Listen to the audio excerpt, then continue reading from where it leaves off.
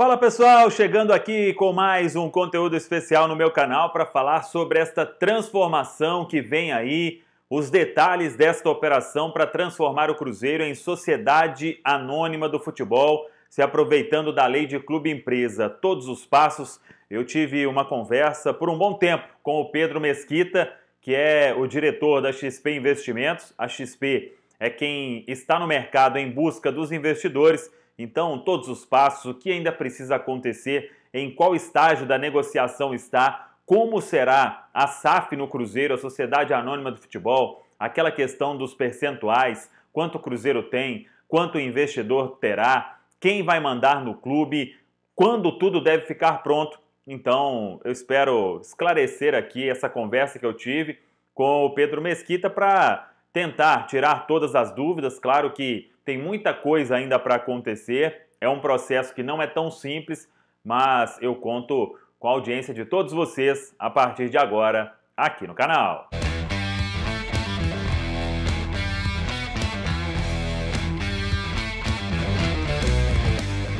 Vamos lá então, pessoal. Antes aquele pedido de sempre, se inscreva aqui no canal, compartilhe o link deste vídeo aí. Eu sei que tem muita gente querendo saber sobre todos os detalhes, Vai ser mesmo a salvação do Cruzeiro? O que, que precisa acontecer? Então, muito importante, deixe o seu like, me ajude compartilhando este link aqui no canal. Eu até anotei os principais tópicos desta conversa que eu tive com o Pedro Mesquita, diretor da XP Investimentos, e, claro, é uma pessoa que traz credibilidade para todo este processo da Sociedade Anônima do Futebol e é quem está com a empresa dele no mercado em busca de investidores, conversando com o mundo inteiro, apresentando o que é o projeto do Cruzeiro nesta transformação de clube empresa. E agora, claro, muita gente pergunta sobre o papel do investidor. É que agora esse investidor tem garantias com base nesta lei. Então, será criado um novo CNPJ para o Cruzeiro,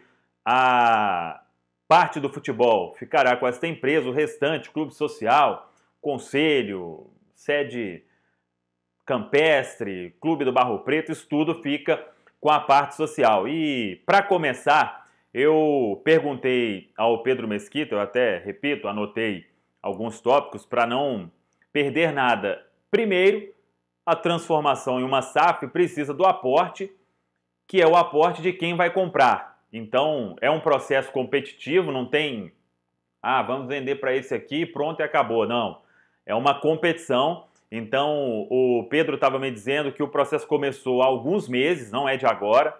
Então, primeiro eles fizeram todo o levantamento, organizando as informações, isso já tem três meses. Quem é o Cruzeiro, o potencial para esse investidor, questão do torcedores. Então, fez um apanhado de todas essas informações para passar aos investidores interessados. A XP Investimentos foi quem montou todo o planejamento. Então, aprovou esta criação da SAF no Conselho Deliberativo do Cruzeiro. Isso foi um passo importante. Muitos clubes aí no Brasil ainda não tiveram a aprovação no Conselho Deliberativo, então o Cruzeiro neste processo saindo à frente dos outros. Então a XP montou e começou a procurar investidores no mundo inteiro falou com os grandes investidores de grandes times do mundo, Estados Unidos, Europa. O Pedro me disse que são 15 interessados hoje e ele acredita que vai dobrar isso agora que está tendo mais publicidade sobre essa questão e que está chegando a hora também, a partir de janeiro, tudo pode acontecer. Então, dentre esses que foram conhecendo o projeto da SAF, da Sociedade Anônima do Futebol no Cruzeiro, vários se interessaram. Então, a partir do momento em que há o interesse deste fundo de investimentos, eles assinam um contrato de confidencialidade e recebe todas as informações, o projeto que foi feito, o estudo de clube empresa do Cruzeiro, valores e por aí vai. Então essas empresas estão na fase de estudar quem é o Cruzeiro, quem esse fundo de investimento pode comprar. E isso já aconteceu. Então, repito, ele me disse que são 15 hoje analisando, no mundo inteiro, investidores lá de fora, até pela moeda. Ninguém acredita hoje que o investidor será aqui do Brasil. Então, tudo indica que será mesmo do exterior. Então, 15 hoje analisando e, repito, Pedro me disse que acredita que vai dobrar este número até dezembro, quando o Cruzeiro deve começar efetivamente a receber as propostas. Então, no mês de dezembro. Aí ele me disse o seguinte: de todas as propostas que o Cruzeiro receber, dinheiro e também projeto. Não é simplesmente aquele que colocar o maior cheque é que vai comprar o clube. Ele, com a XP Investimentos, eles vão fazer todo um estudo. O que, que esse fundo de investimentos tem para o Cruzeiro? Qual que é a ideia? O que, que vai fazer para resolver a situação do clube? Qual o projeto? Quer transformar o Cruzeiro em quê? Então isso tudo vai ser levado em conta. Não é somente o que colocar o maior dinheiro, a maior grana, é que vai ser o vencedor. Então, a partir de dezembro, eles vão começar a receber essas propostas e aí analisar o projeto de todo mundo, qual proposta apresentada. Deve escolher no máximo quatro para a próxima etapa, que aí já vai ser um ciclo mais fechado. Dois, três, quatro no máximo de fundo de investimento, de investidores que estarão interessados em comprar o Cruzeiro. Aí o Pedro me disse o seguinte: vira para esses dois, três ou quatro, ó, de todo o processo, de vários que estiveram neste início interessados em comprar o Cruzeiro. A partir de agora só sobraram vocês, então mande uma proposta final. Aí pode aumentar valor ou mudar alguma coisa no projeto, que, que propõe ao clube, e aí sim todos esses vão mandar a proposta definitiva, a final. Dentro destas propostas, o Cruzeiro vai escolher qual será o fundo de investimento que vai comprar 49% do clube, como determinou lá no voto do Conselho Deliberativo. Então, isso vai acontecer a partir de dezembro, depois fecha esse cerco aí, janeiro, fevereiro, para no fim do primeiro trimestre, março, a ideia é já fechar com tudo e começar contrato, troca de papéis para assinar e efetivar a venda do Cruzeiro. Então, está neste pé hoje a situação dezembro, recebimento de propostas janeiro e fevereiro. Fecha ali o ciclo em dois, três ou quatro no máximo, para março tentar finalizar tudo e efetivar a venda do Cruzeiro para este fundo de investimentos, foi o que me disse o Pedro Mesquita da XP Investimentos. Uma outra questão que eu sei que é dúvida para todo mundo.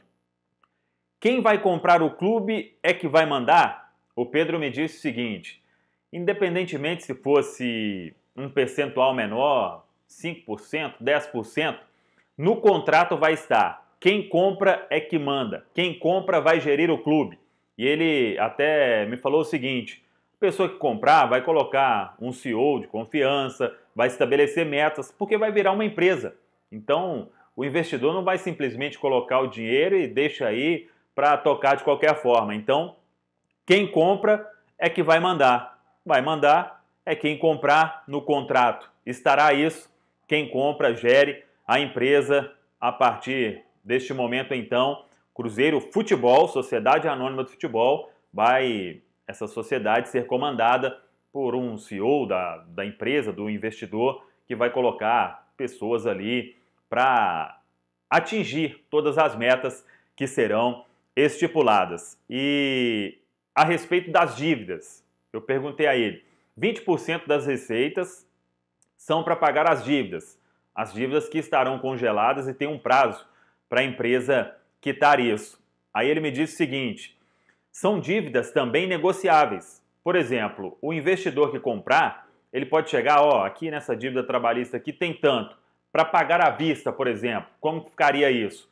Claro que terá uma redução significativa, com as dívidas fiscais também, enfim, com todas as dívidas, porque ele falou o seguinte: a partir do momento em que o investidor compra o clube, ele vai querer ter toda esta receita, não vai querer ficar perdendo 20% toda vez para ficar pagando dívida. Então, é um processo que, dependendo da condição para quitar essa dívida, pode antecipar de uma forma, até porque quem colocar a grana o que vai ter mesmo é grana sobrando, porque todo mundo imagina que é fundo de investimento com alto poder aquisitivo. Então, isso pode fazer diferença também na diminuição dessa dívida e para ter toda a receita à disposição deste novo dono da Sociedade Anônima do Futebol. Aí receita é televisão, sócio, tudo, tudo isso passa a ser da Sociedade Anônima do Futebol. Ah, o Cruzeiro tem 51%. Tem 51%, 51% do lucro. E isso só vai acontecer a partir do momento em que a empresa tiver quitado todas as dívidas e se der lucro ao final de um ciclo. Ou então, a SAF, a Sociedade Anônima de Futebol, o que, ela vai fazer? O que está, de certa forma, sobrando, reinvestir no clube para melhorar ainda mais a Sociedade Anônima de Futebol. Então, na teoria, o investidor que comprar, ele vai ser realmente dono de tudo aquilo que vai entrando de receita, porque ele vai ter o interesse, claro, de reinvestir na, na empresa que foi criada. Então, a partir disso é que vai acontecer todo o processo para o Cruzeiro tentar aí sair dessa situação o mais rápido possível. Então, a XP Investimentos está tocando todo o processo com o Pedro Mesquita, que é diretor, que está à frente disso aí no mercado e vamos acompanhando todos os passos. Espero ter esclarecido aqui um pouco e tentado também ajudar a todos para entender. Não é um processo fácil, simples e por isso é bom sempre a gente buscar um especialista para sanar todas as dúvidas que a gente tem sobre esta transformação do Cruzeiro em sociedade anônima do futebol. Tá falado, pessoal? Um abraço, até a próxima. Vamos que vamos. Canal Samuel Venâncio. Oferecimento Atacareja Economia. Compre sem sair de casa com qualidade, variedade, bom atendimento e preços baixos. Estrela Bet, a melhor plataforma de apostas esportivas do Brasil. Faça sua inscrição e ganhe cinco reais para começar a apostar. E Meu Cruzeiro Alto Truque, uma proteção veicular pensada e personalizada para a Nação Azul.